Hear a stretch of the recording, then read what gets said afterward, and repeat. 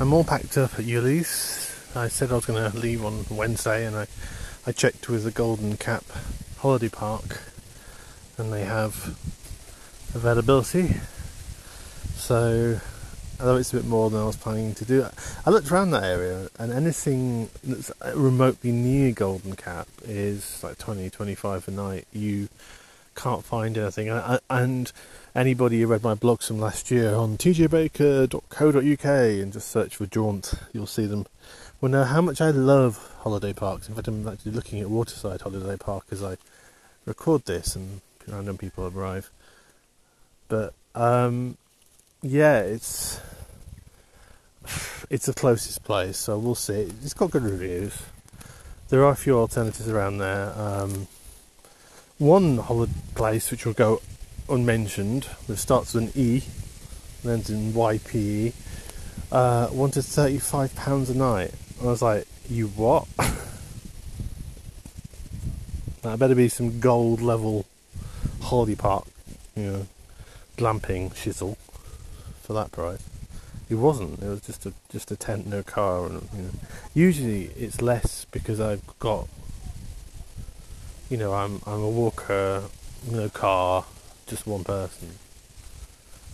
But you know, and there was another place that I might go to. Um, home farm, which there was one place called Manor Farm where they only got cold showers. I was like, mm, no, that's the, that's my only stipulation. Does it have cold showers or not? Um, and then there's the place called Home Farm, which sounds quite nice. It's sort of in between.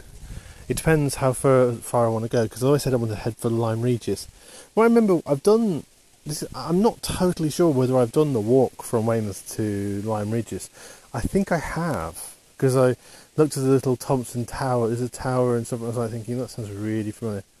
So I might have done it once because I know I walked as far as because I. What you probably don't know is I did a lot of coastal walks connecting um, near what was it called? Uh, up in Kent, Fareham. I think it was Fareham. And that sort of way. Uh, Dalkey and all that sort of chisel. Uh, almost up to the island. Um, I can't remember the name. I'm blanking the name at the moment.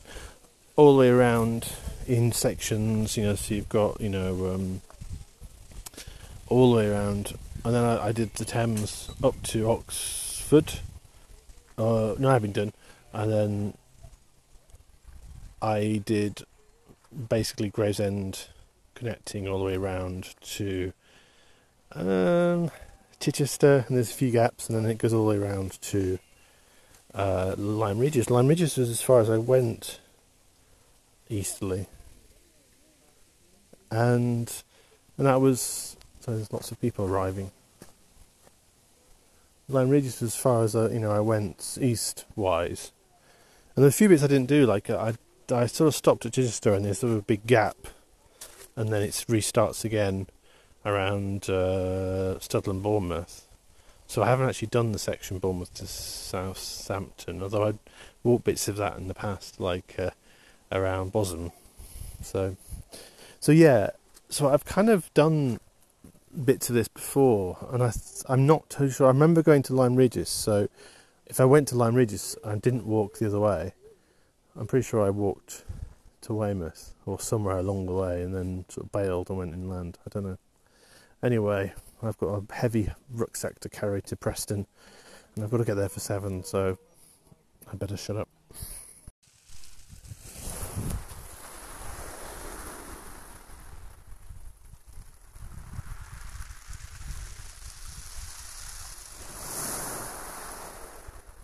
Always the ninth wave.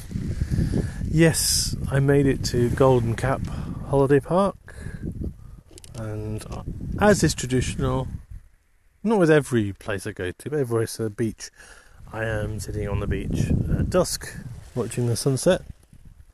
I had a very wonderful meal at the Anchor Inn at Seatown, which uh, Golden Cap Holly Park is just off.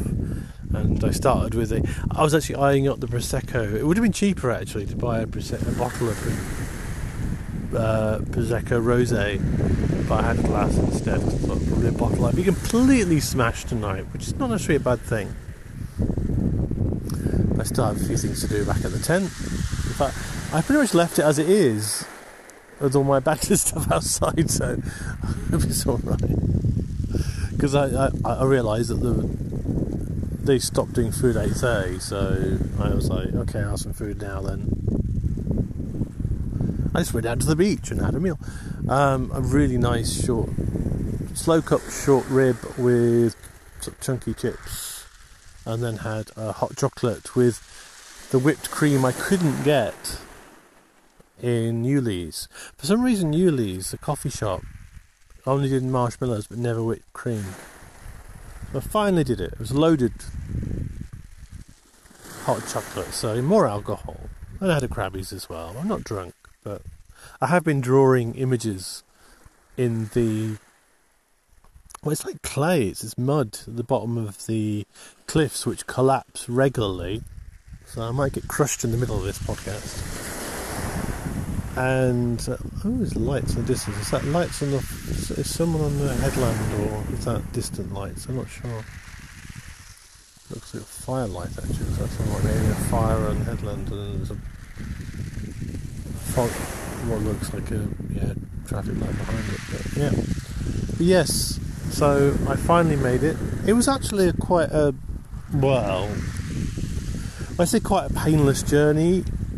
Um, the bit after the recording earlier uh, was hard because it was very hot, middle of the day, and I had my full pack on with extra weight because I haven't mentioned this, but I I have a um, I'm using a camping gas cooker because I tried all the ecological ways of using you know twigs and wood and you know found wood and whatever, and it just took too long. And you spent your whole holiday collecting twigs, and they were gone in like five seconds, and you could never actually boil anything.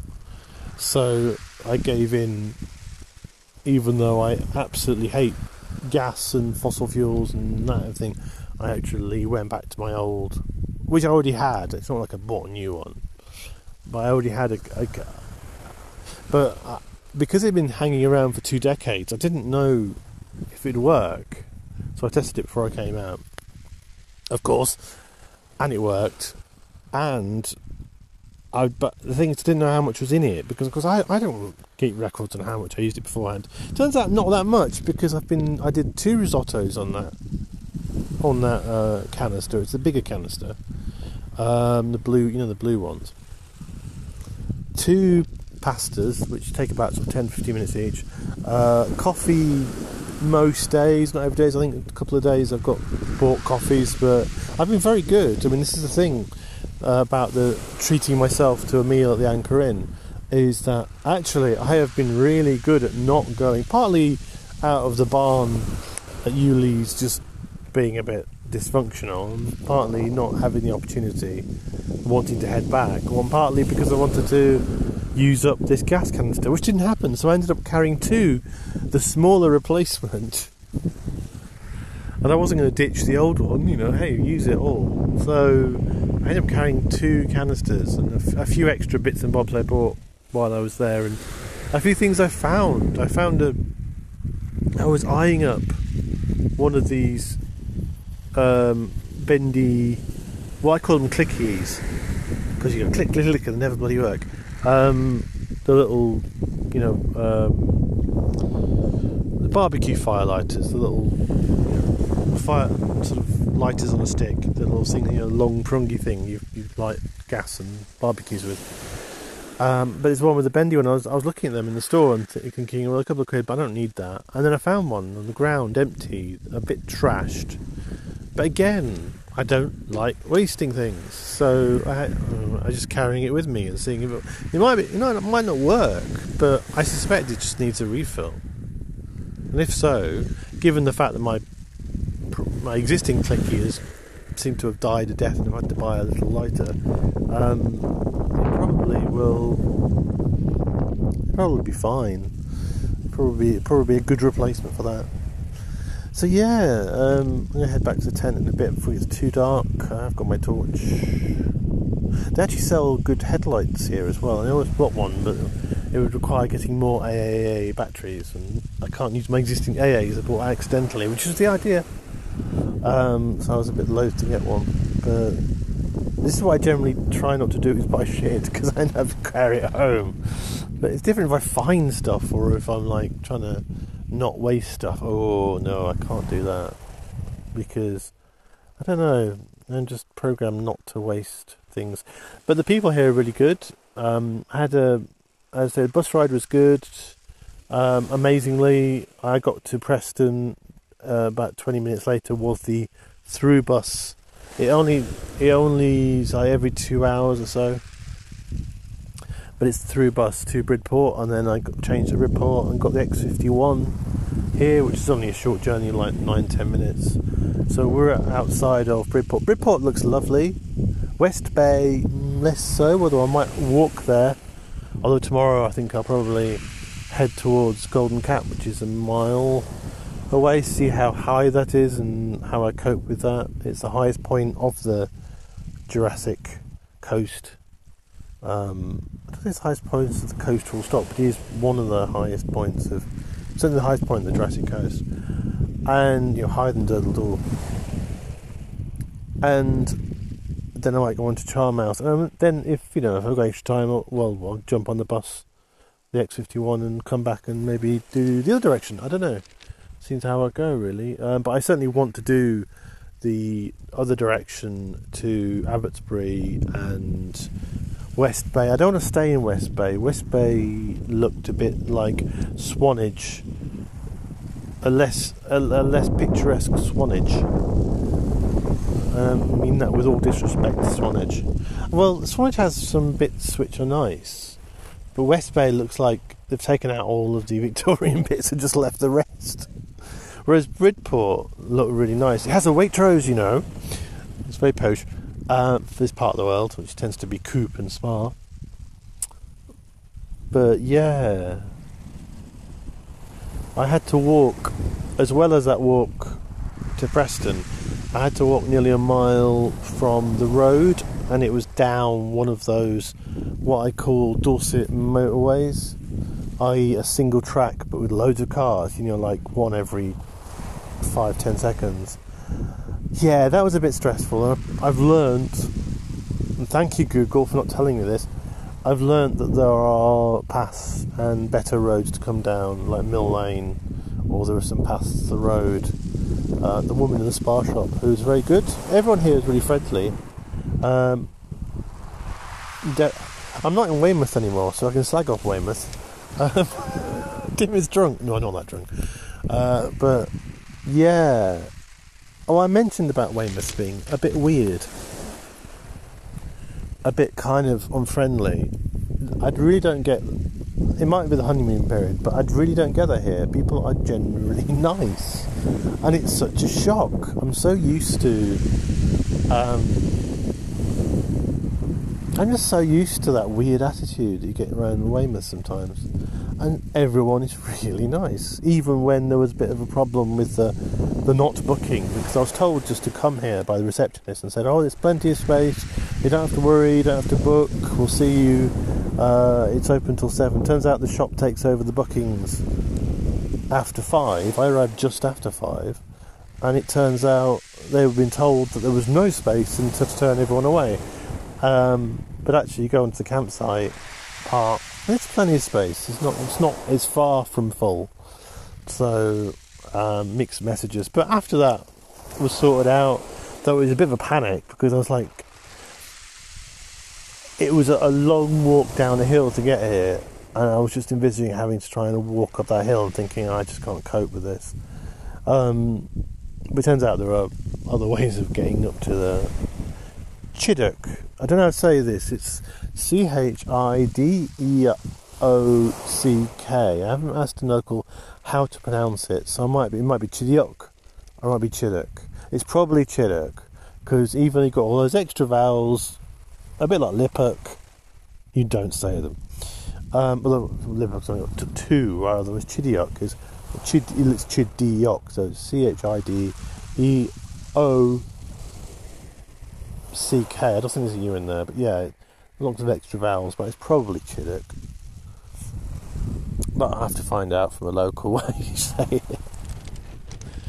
But yeah, that looks really nice. It looks like a good church there. Uh, Abbotsbury looks wonderful. Uh, Swyre looks interesting. I might f- find that along the coast. I think West Bay I might visit along the coast and just sort of wander by. It's a bit of a Beaucleve Bay situation. Very, you know, amusements and five trillion fish and chips. It looks like a mix of Mevagissey. If you took out the original Cornish stuff from Mevagissey and you've got like a little kind of harbour and they just filled it full of, of fish and chips and arcades. That's basically West Bay. Um, whereas Bridport is like just like nine days, like ooh upscale. and, and, for working class, I should be like, oh, you know, I should be all about the Beaucleve, all about the the um, the West Bay. But I just find it a bit boring to spend your time completely on the beach, eat nothing but fish and chips wear one of those funny hats and spend your time in the arcades. It's something I did as a kid, and it's my background. It doesn't mean I want to stay there. Um, I'm more interested in, well, cliffs and walking, and yeah, it's all a bit middle class, really, isn't it? Oh dear. I'm a class traitor. No, not really. But I was talking to a friend online about politeness because I found this really odd uh, with. Euclid, Euclides is very middle class, I think. You know, there's lots of Jackathas and Tabanthas and you know, you know Joshuas and all. You know, there's lots of children with very odd names uh, running around in floppy hats and Nirvana t-shirts, which they're too young to ever heard of. Um, and people were ostensibly friendly there, but they weren't. They would say hello, but they're a bit like, "Hello, can you fuck off now?" Uh, the locals are lovely, apart from in Weymouth.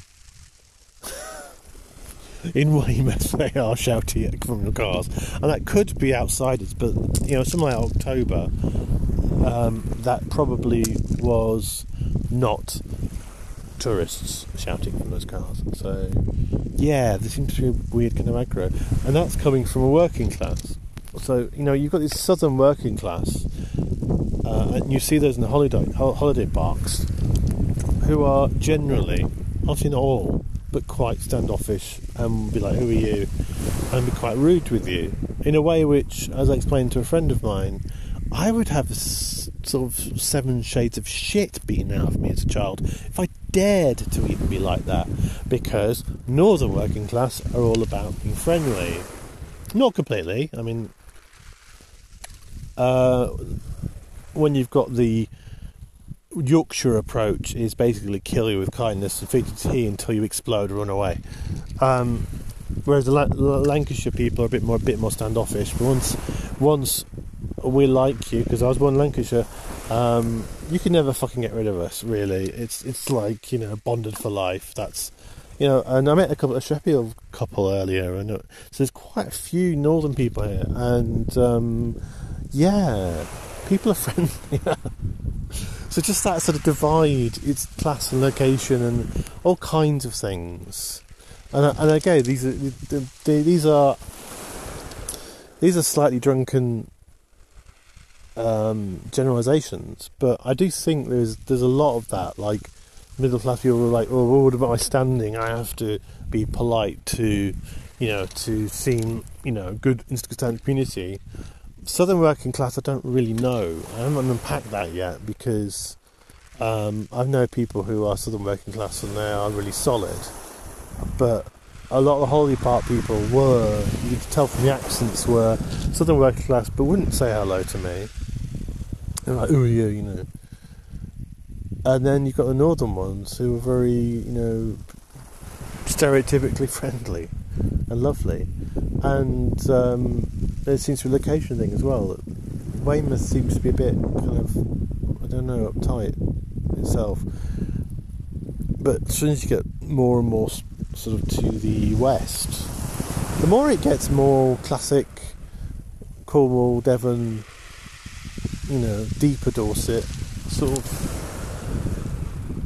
you know, very, know, genuinely friendly. I, I don't know. Maybe it's the influence of London and everything. I don't know. But I think it's you know it's interesting. We've got 16 minutes. Better better shut up. So yes, you. I will use uh, an image that I took of Golden Cap. Uh, I call. I posted it to Instagram and called it the Golden Dutch Cap. Uh, yeah, Golden Dutch Cap angle because yeah, I had to explain that, and you should never have to explain a joke. But obviously, golden cap, Dutch cap, Dutch angles. If you don't know what Dutch angles are, Dutch angles are the slanted angles. Very popular in the 1920s, 1930s. Maybe the Dutch people had had too much to drink. I don't know, but it's everything's at 30 degrees, 20 degrees, that kind. Of, know. It just happened to be able to get that angle, but actually, I prefer that angle. I was kind of, I corrected it and went. No, I prefer the slanted angle something about the angle was like, mm, much nicer, even though it's not right. Yeah, but it's okay. As the song goes. Oh my god, I can see in the distance that there must be the lights of Lyme Regis. I have been to Lyme Regis, I say, I think I've walked, I suspect I've walked this, or part of this, um, in the past. And Lyme Regis is nice. It's, it's very it's a bit like Bournemouth. It's it's less throbbing nightlife and fireworks every. I saw those on Monday.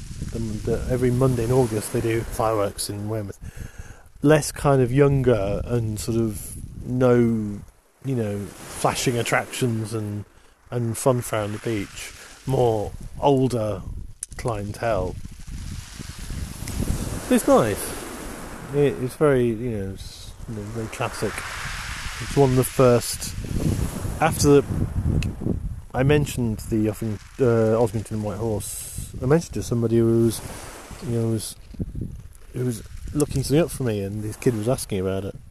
I did a little, my potted local history lesson about this King George III coming to Weymouth and starting the whole trend of going to the beach.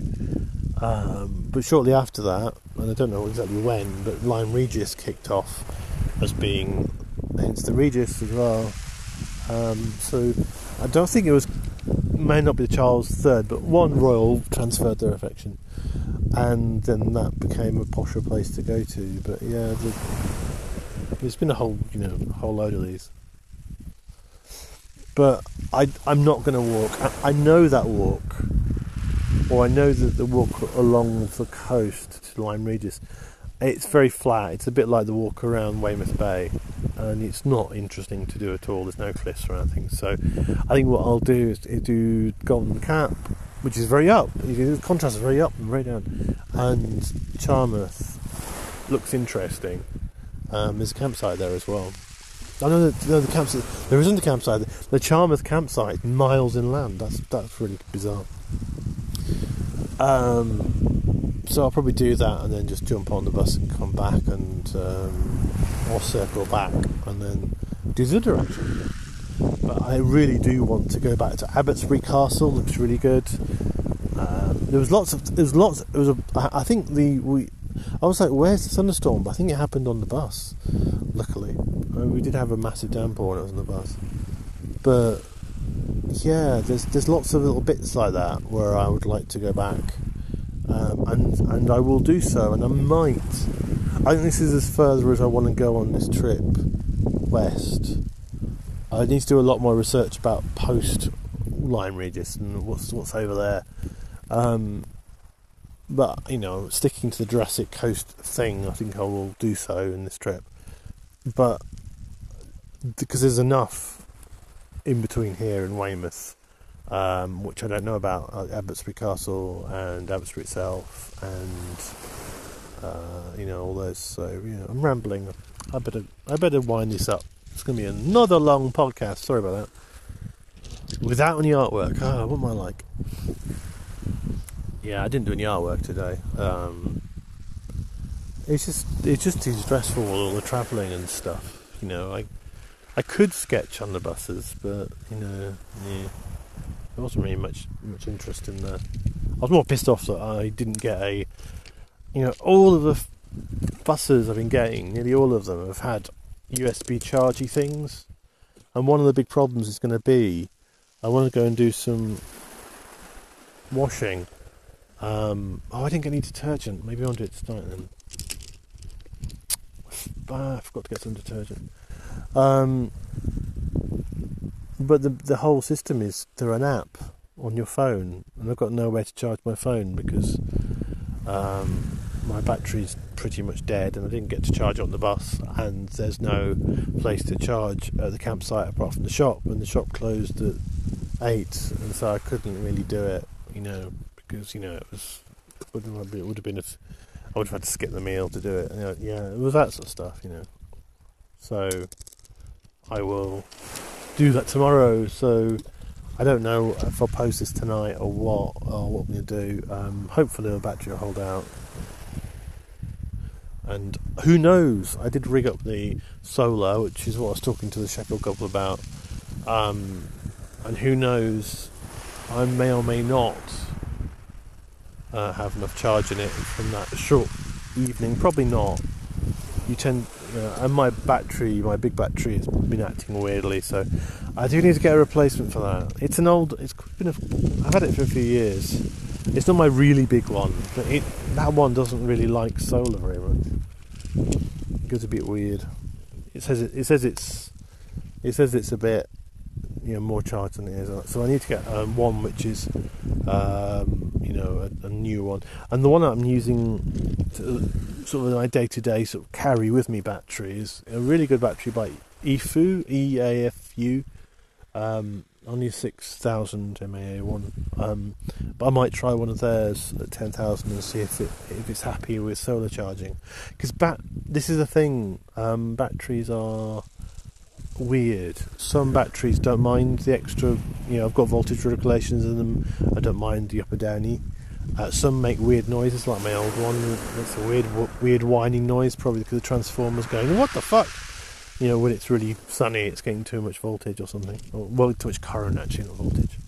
Because I, I think the it's a proper it's a proper solar charger with a five volt output. Um, but I think the current varies and I'm not sure my old battery would cope with that, but it's much bigger, heavy battery, so I don't want to put it. So yes, I think it, I, I, did test it with a multimeter once, and it, it, does pump out a lot of voltage and charge and current at some points, and sometimes none. And I think what my old battery doesn't cope with is the bits where it stops and then restarts. It doesn't always restart, and it sometimes lies about how much it's got, and suddenly you plug something in and you find out it's got nothing in it. Yeah, it's being a bit crazy. Ah, 24 minutes. I'm going to shut up.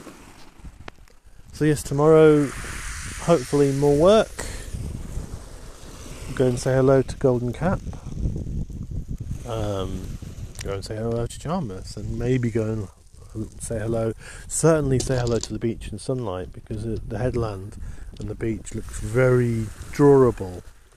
Um, it may not be a fire, it might just be lights in the distance. It does look like it. But, yeah, so the headlands here look very drawable, so certainly I'd like to do some drawing for them. And I can do so because I'm staying here, you know, late on or early on. I don't have to run off. And, because um, the, the car park closes here at 8pm, so I've got a luxury of staying here so I can you know, go up to Golden Cap at any time, like I did with Durdle Door, but I'm not going to do it tonight. Two in the morning! Well, it depends how much brandy I have, but I've got a nasty feeling the kids at the campsite stole my brandy unless I packed it and forgot where I packed it. I need to. That's what I need to do tonight. Is go back and do is unpack, find you know, unpack all my food and stuff. Um, it's just been sitting there and hopefully hasn't been attacked by pesties. Hopefully it hasn't been stolen. All my stuff. I hope not. So I'll speak to you soon.